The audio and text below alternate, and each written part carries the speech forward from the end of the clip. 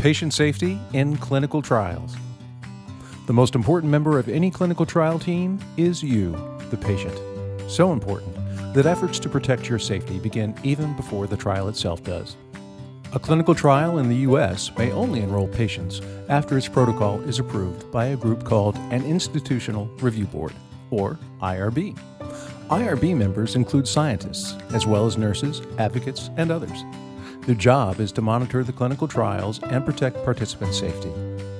The protocol describes the study's goals and methods and outlines how the participant safety will be ensured.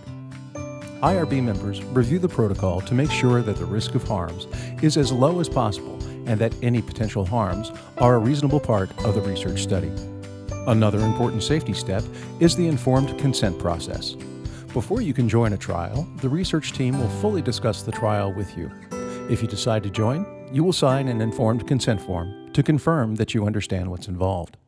You are encouraged to ask questions at any point before or after joining a study. And of course, you may always choose to leave the study. It's completely up to you. Once a study begins, its scientific progress and the safety of its participants are regularly monitored. The study may be changed or even stopped to ensure the patient's safety. Clinical trial participants are a vital part of cancer research. Better cancer care tomorrow depends on what we learn from clinical trials today.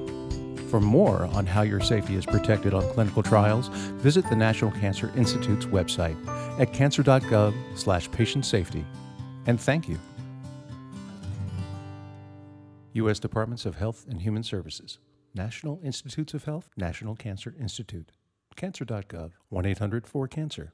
Produced September 2017.